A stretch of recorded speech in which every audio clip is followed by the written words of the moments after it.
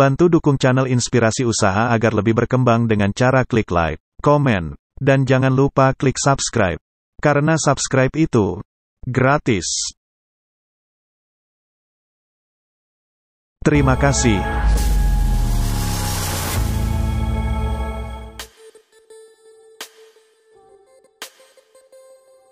Halo teman-teman, jumpa lagi bersama saya di Inspirasi Usaha. Pada kesempatan video kali ini, saya akan membagikan sebuah video tutorial transfer foto ke media gelas keramik seperti ini.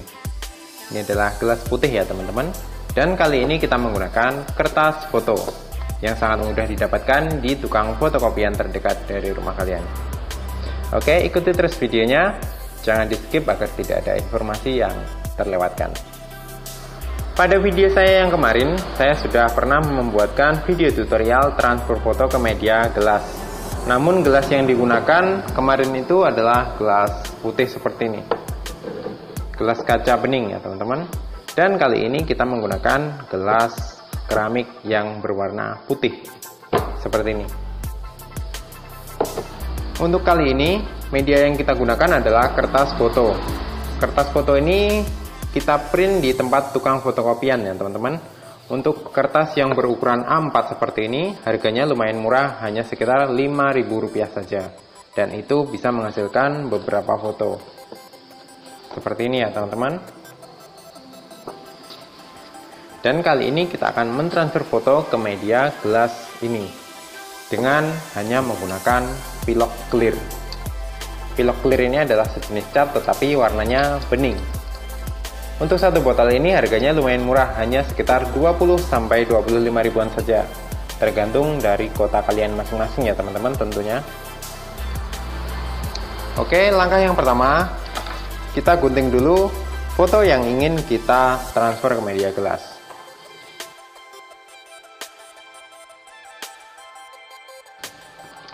Setelah kita potong seperti ini, langsung saja kita semprot menggunakan gelir. Oh iya teman-teman sekedar info. Ketika kalian mengeprint kalian mode cermin gambarnya. Artinya di mode terbalik ya teman-teman. Agar nanti ketika kita tempel seperti ini hasil fotonya tidak ikut terbalik. Dan kalian potong seukuran dengan gelas yang akan kalian gunakan untuk transfer ini di sini saya memerlukan sebuah alas papan seperti ini agar mejanya tidak kotor ketika terkena clear. Oke, langsung saja kita clear. Proses pengekliran ini cukup 1 sampai 2 lapis saja. Sekiranya sudah basah ya, teman-teman. Sekiranya fotonya sudah terbasahi dengan menggunakan clear ini, itu sudah cukup. Cukup 2 lapis saja.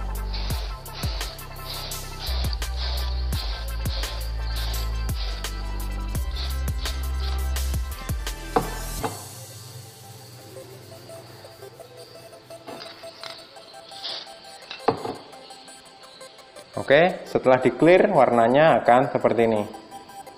Terlihat seperti basah ya teman-teman. Dan ketika masih basah seperti ini, langsung saja kita tempel ke media gelas. Jangan sampai kita tunggu clearnya ini kering. Karena fungsi dari clear ini adalah sebagai perekat, sebagai lem ya teman-teman, agar dapat merekat pada media gelas yang akan kita transfer foto. Oke, langsung saja kita tempel. Proses penempelannya ini juga harus berhati-hati.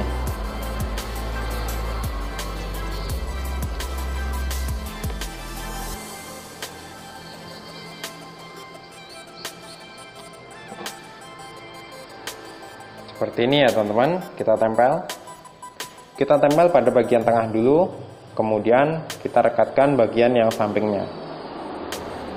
Agar hasilnya merata dan presisi seperti ini. Kita rekatkan sedikit demi sedikit.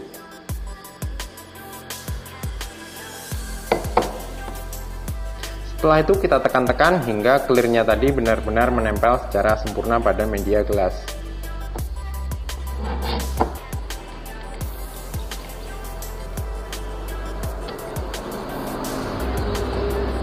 Hasilnya seperti ini.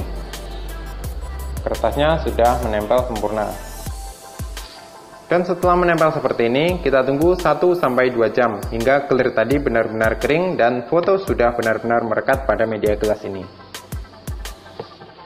Oh iya teman-teman, untuk mempercepat proses pengeringan, kalian bisa menggunakan bantuan hair dryer seperti ini.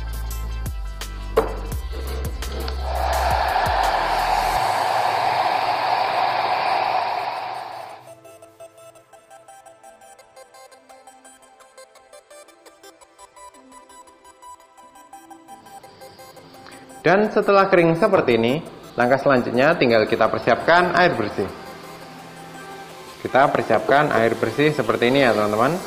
Gunanya air ini untuk mengelupas kertas yang masih menempel pada media gelas ini.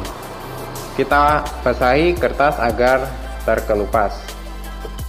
Oh ya teman-teman, ketika kita membasahinya, kita gosok secara pelan-pelan saja agar gambarnya tidak ikut terkelupas ikut dengan kertasnya.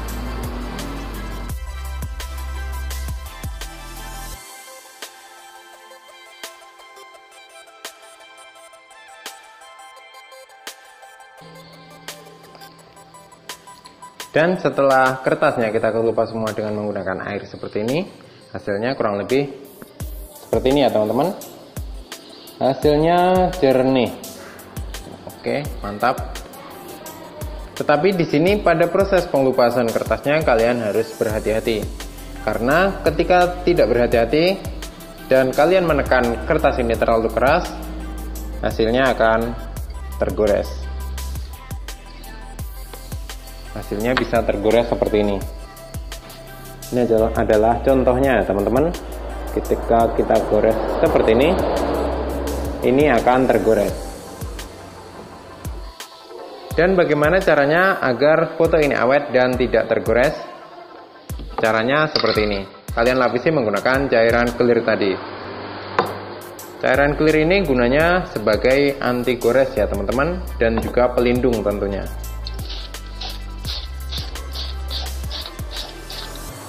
Pada proses yang pertama ini, tujuannya hanya untuk mengelupas kertas dan serabut-serabut kecil yang masih menempel pada media foto ini. Dan tinggal kita gosok. Pasti serabutnya akan terkelupas. Seperti ini. Ini adalah sedikit serabut yang terkelupas ya teman-teman. Gunanya clear yang pertama ini untuk mengelupas serabut dan bulu-bulu kertas yang masih menempel pada media foto. Kemudian kita gosok hingga serabutnya benar-benar terkelupas secara sempurna. Dan langkah yang kedua, tinggal kita semprot menggunakan clear dan kita ulangi dua lapis.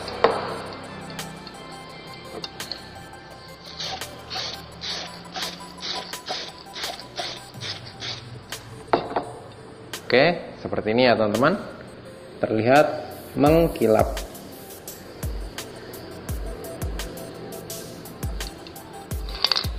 Kemudian kita ulangi satu lagi.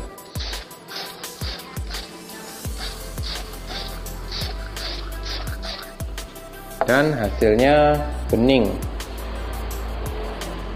Saya rasa cara ini adalah cara transfer foto ke gelas yang sangat baik dan menghasilkan hasil foto yang sangat jernih. Berbeda ketika kita menggunakan kertas bungkus nasi dan juga kertas fotokopian maupun kertas HVS. Saya rasa cara ini adalah cara yang menghasilkan hasil foto yang paling bening menurut saya. Oke teman-teman, itu tadi adalah sedikit tutorial untuk transfer foto ke media gelas keramik seperti ini. Gelas putih ya teman-teman. Jika kalian suka dengan video ini, kalian bisa klik tombol like yang ada di bawah. Dan jangan lupa juga tekan tombol subscribe, agar tidak ketinggalan video-video terbaru dari inspirasi usaha yang lainnya. Oke teman-teman, terima kasih sudah menonton. See you next video.